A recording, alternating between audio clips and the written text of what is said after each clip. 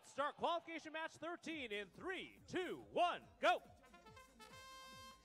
In the autonomous period, we have both alliances scoring on the flags. Blue Alliance flipping two flags over to blue. Red trying but missing.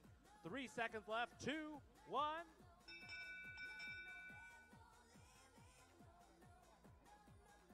Autonomous bonus going to blue. Drivers ready.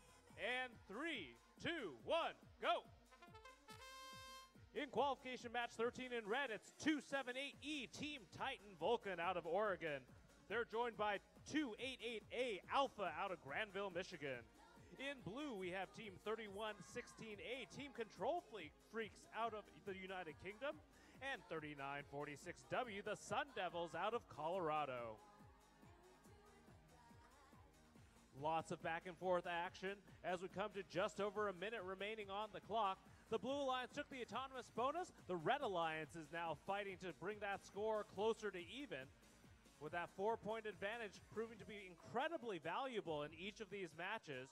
We're now at one minute remaining on the clock. Red Alliance trailing 10 to 16 at the moment, but still plenty of time to make some scores. From the far end of the field, 31-16A, that's our friends out of the United Kingdom attempting to shoot at the center uh, center flag post. And 39-46W, the Sun Devils, being defended upon by 278E Team Titan Vulcan out of Oregon. 39-46, scoring two flags for blue. As we come to the last 30 seconds on the clock, you see some defensive strategies at play here. Pinning calls will be made if they hold, hold the, force those teams against the wall for too long. And we're down now to 15 seconds remaining on the clock.